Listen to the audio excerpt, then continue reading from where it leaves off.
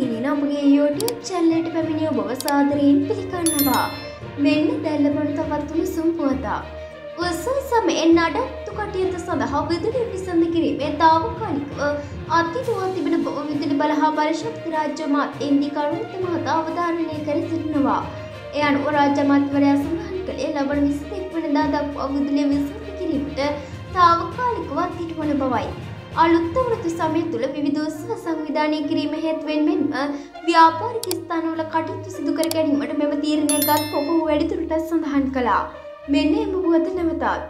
උත්සව සමයේ නඩත්කු කටයුතු සඳහා විදුලිය විසඳ කිරීම තාවකාලිකව අත්හිටුවා තිබෙන බව විදුලි බල හා බලශක්ති රාජ්‍ය මාත්‍යන්දි කරුණුත් මත අවධාරණය කර සිටිනවා.